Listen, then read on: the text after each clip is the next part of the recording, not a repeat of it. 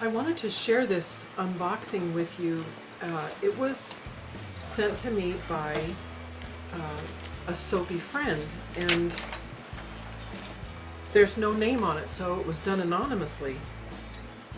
In their note, they said that someone, something uh, amazing happened to them, and they promised that they were going to pay it forward. And so they sent me or sent Soaps for Love all sorts of supplies. This is this is like absolutely amazing. I, I got goosebumps and oh wow. Okay, hold on a second. this is this is like overwhelming.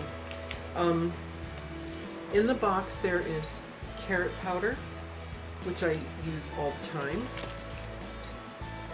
There's jojoba beads, uh, red and orange.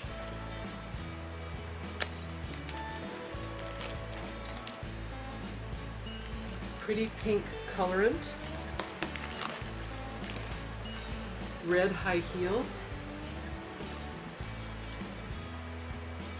Melon color.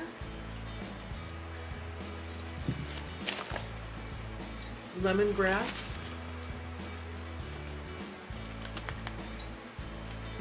Which I use all the time. Calendula petals.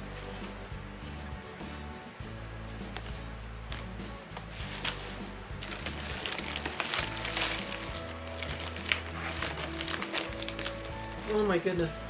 I was just going to order some of this matte white pigment Wow. And fragrances. Honey, I washed the kids.